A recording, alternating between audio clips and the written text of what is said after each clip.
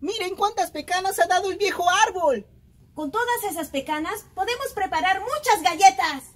Hola amigos de Atacupres.pe. En el 2018 la animación peruana volvió a destacar no solamente por las grandes historias, también por el doblaje. Por eso en este video les presentaremos la segunda parte de nuestro especial sobre el doblaje peruano. Para ello visitamos el estudio de grabación de Torre A, una empresa peruana con jóvenes talentos que estuvo detrás de la producción del doblaje en series animadas de televisión como Ciudad Jardín, Martina y Rigoberto y la película de anime La Gran Aventura de Gamba que se estrenó en América Latina en marzo del 2018.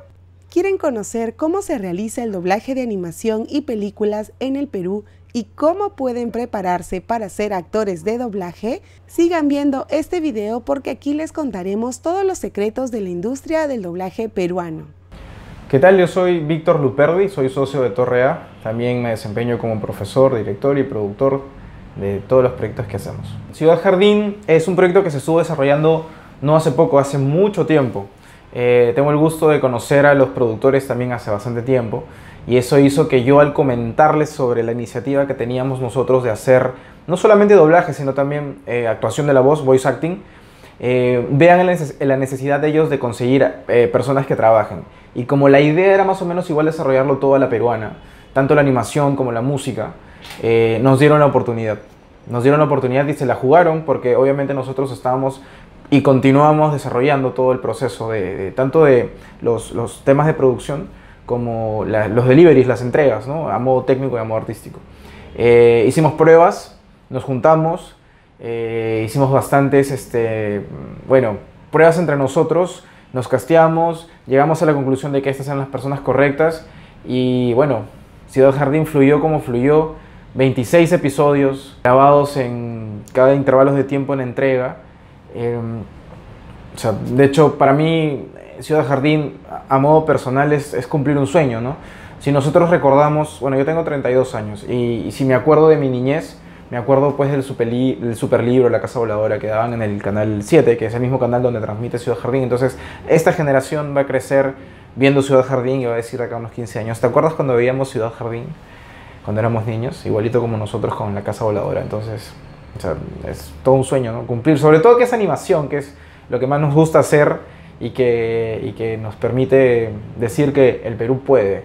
Cuando llevaron este proyecto a otros países, les preguntaron a los productores, oye, este, ¿dónde hicieron las voces? Ah? ¿En Argentina o en México? Y ellos con mucho orgullo decían, no, todo lo hemos hecho en Perú. Así que vamos bien. Y con Martín y Rigoberto, eh, bueno, Martín y Rigoberto fue de otra manera, es otro proceso. Eh, grabamos todo previamente, igual hicimos un casting extenso entre todas las actrices y actores que tenemos en el elenco.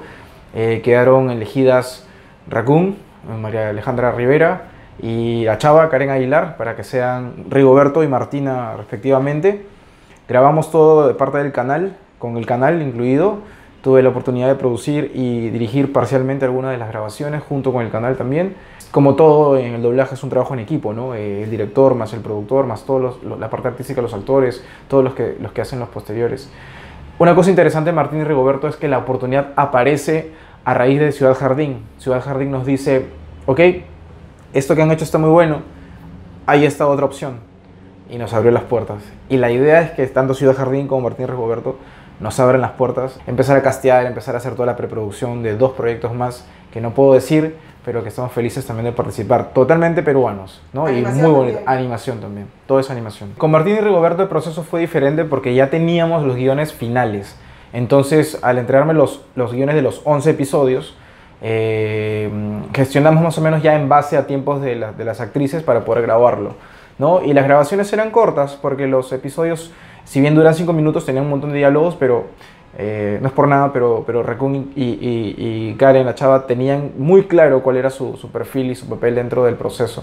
Y era muy, este, era muy rápido, era muy fácil sacar las emociones de lo que necesitaban los personajes. Eran como que los personajes fueron suyos.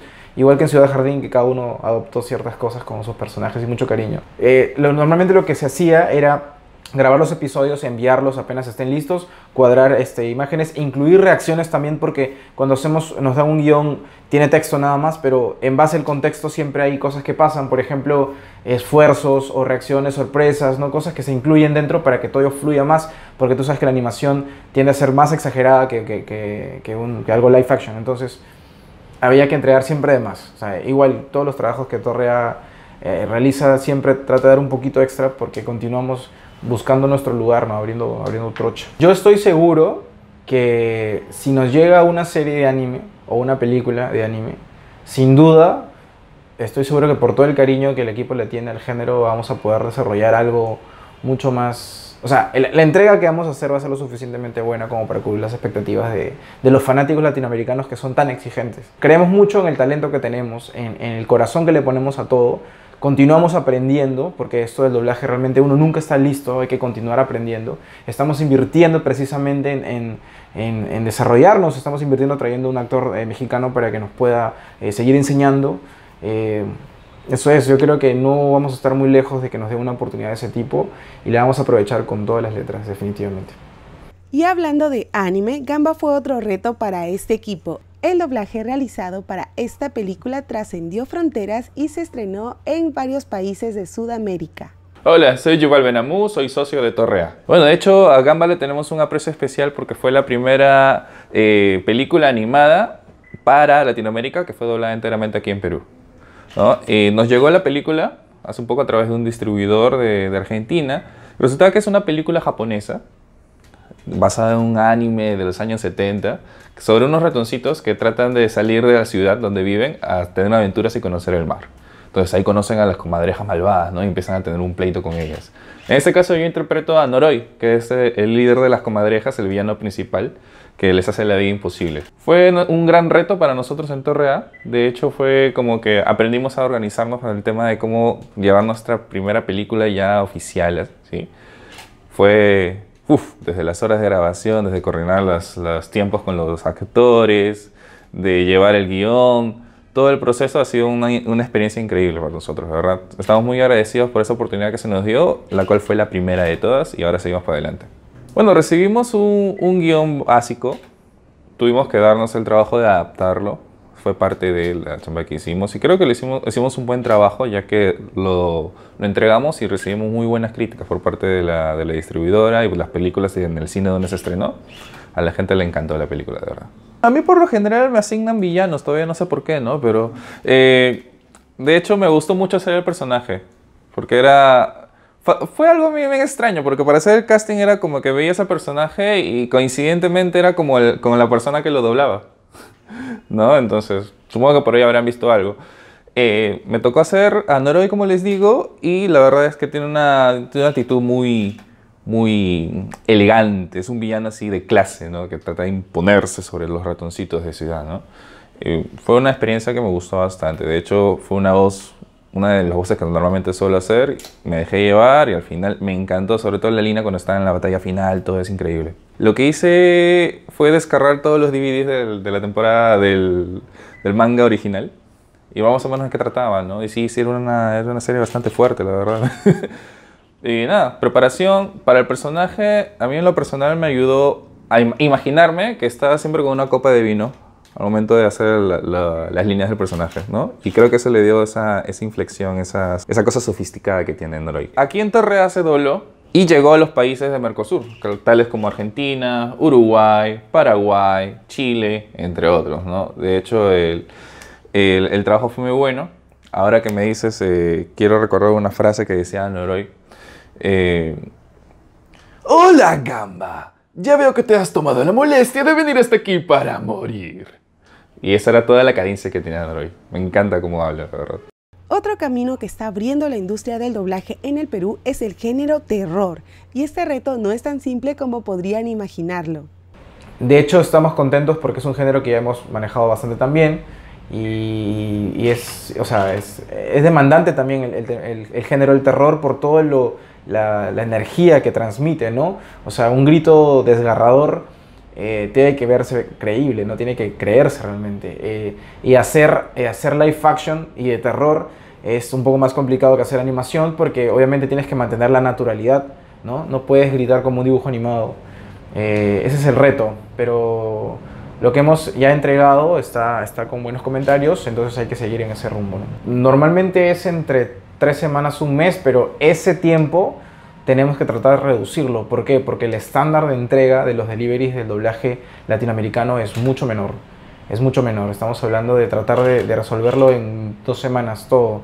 Y ahí consideramos traducción, adaptación, que paralelamente permite la grabación de actores en base a la disponibilidad que tengan y aparte el tema de la postproducción. O sea, siempre todo trabajo audiovisual es para ayer y el doblaje no se escapa de eso.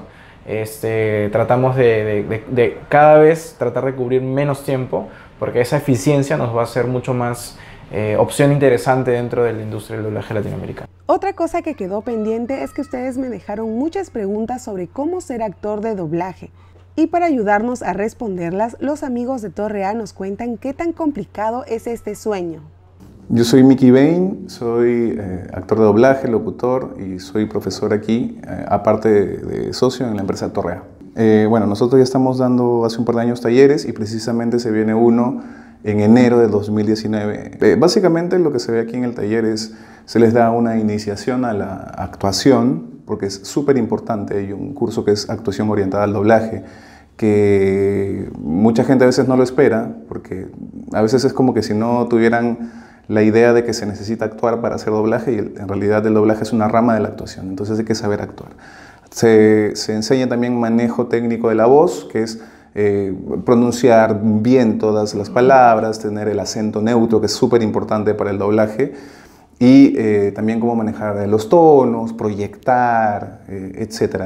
Eh, y también, obviamente, la técnica en sí del doblaje, que es ya en la cabina, el manejo del guion, de los auriculares, de la referencia, etcétera, etcétera. La recomendación siempre es venir aquí con toda la apertura de querer aprender, ¿sí? Si por ahí tienen, no es necesario, pero si por ahí tienen dotes actorales, eso ya es un plus, ¿no? pero que vengan siempre con ganas de aprender, abiertos y dispuestos a, actuar, a, poder estar frente a un micrófono en una cabina y, y, y, a soltarse, ¿no? A soltarse. Mucha gente viene aquí con cierta timidez, pero, pero hay que irse soltando para poder lograr ser, convertirse en un actor de doblaje, ¿no? Eh, realmente uno puede venir aquí y aprender, nosotros les damos la herramienta, las herramientas para convertirse en actor de doblaje, eh, así no tengan experiencia previa, ¿no? Como digo, si por ahí uno es actor, eso ya es un plus. Si por ahí uno es locutor, también es un plus. Pero no solamente un actor de teatro o de televisión puede hacer doblaje, como tampoco un locutor solo puede hacer doblaje. Una mezcla de conocimientos que hay que llevar a la cabina. En el curso de manejo técnico de la voz y acento neutro eh, les damos las herramientas, sí, pero básicamente eh, lo que hay que hacer es, uno, bueno, eso es algo que se aprende aquí, pero la idea es a la hora de trabajar no, no maltratar la garganta, por ejemplo, no, no, sacar la voz de aquí, sino sostenerla en el diafragma y cosas técnicas, y todo tiene que ver con práctica y saber dosificar el aire y lectura, etc. ¿no? Este, bueno, yo les recomiendo que lean en su casa en voz alta, ¿no? eso puede ayudarles para empezar con la dicción, ¿no? y lo demás lo pueden aprender aquí. Así que ya lo saben, el doblaje peruano está ganando cada vez más terreno, entonces en algún momento veremos animes doblados próximamente en el Perú. Talento sobra, solo hace falta más oportunidades. Yo soy muy optimista y creo que ese futuro podría estar más cerca de lo que se imaginan. Miren cuántas pecanas ha dado el viejo árbol. Con todas esas pecanas podemos preparar muchas galletas. ¿Qué esperamos? ¡Vamos a seguir cosechándolas!